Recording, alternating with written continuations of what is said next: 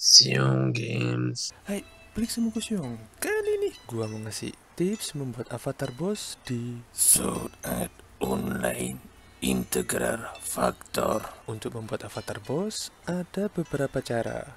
Bisa kalian cek di workshop bagian avatar. Terus pilih bagian armor.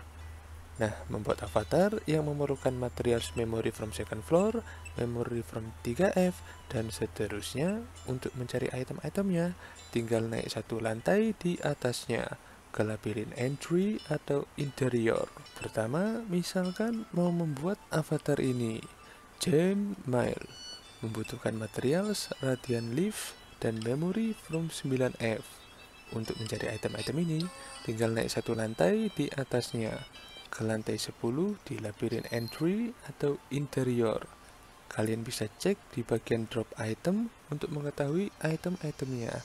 Dan tinggal selesaikan labirin entry atau interior untuk dapetin item-item membuat avatarnya. Kedua, misalkan mau membuat avatar boss ini, King's Code.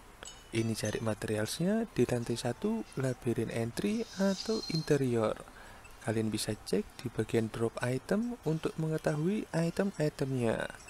Tinggal selesaikan labirin entry atau interior untuk dapetin item-item membuat avatarnya. Mulai dari King's Code ini, udah urut ya mencari avatar bosnya dari lantai 1, terus pindah ke page 2, bagian paling atas, Thunderbolt Code.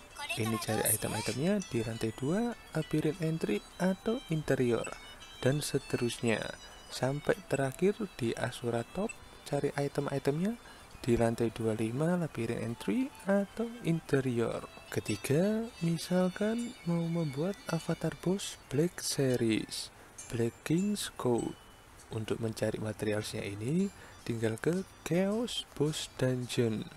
Terus pilih yang Black King. Kalian bisa cek di bagian drop item untuk mengetahui item-itemnya dan tinggal selesaikan Chaos Boost Dungeon Blacking untuk dapetin item-item membuat avatarnya. Oke okay guys, sampai di sini dulu. Makasih yang udah nonton. Kalian suka, subscribe, share, komen, and see you again.